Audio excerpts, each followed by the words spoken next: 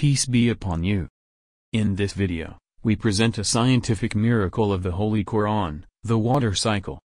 In 1580, the concept of the water cycle was discovered for the first time by the French hydraulics engineer Bernard Palissy, born 1510, died 1589.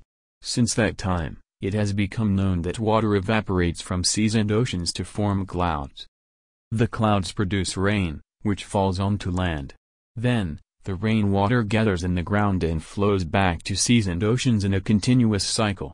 This discovery was not known before 1580, as people did not know the source of water and believed that surface spray of seas and oceans was carried out by wind to fall as rain. The water cycle is mentioned in the Holy Quran, more than 1,400 years ago, in the following verses.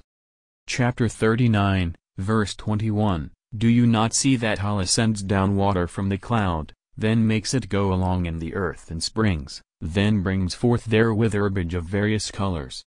This verse indicates that rainwater gathers in the ground, and flows along the earth in springs or settles on the earth in seas and oceans.